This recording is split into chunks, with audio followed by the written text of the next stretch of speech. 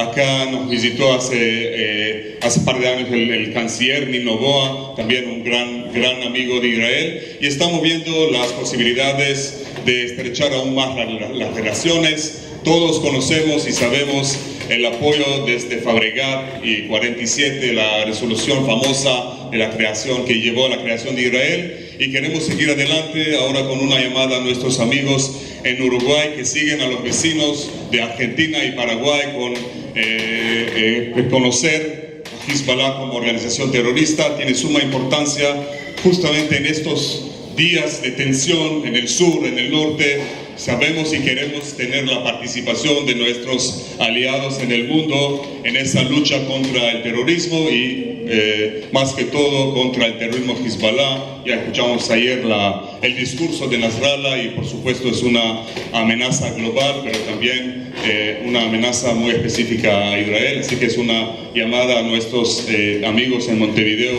eh, que por favor si pueden eh, avanzar también con ese aspecto.